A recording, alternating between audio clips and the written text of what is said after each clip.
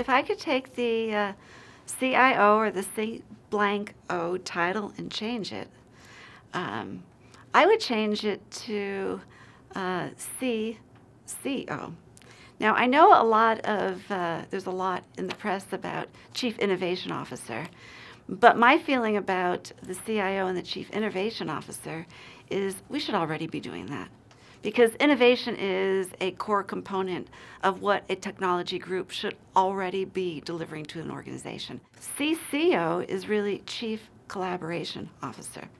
So I'm looking to evolve the organization more into a role where we collaborate more. We use tools better.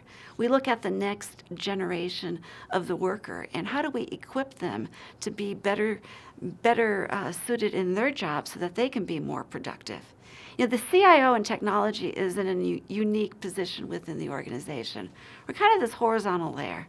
So we can see what goes on in different departments.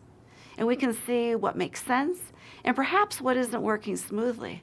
So I think a real core objective of the CIO slash IT organization should be to look across the enterprise, look at what could work differently, and bring those collaboration points back to the enterprise level and really, really work with people in order to make that a reality.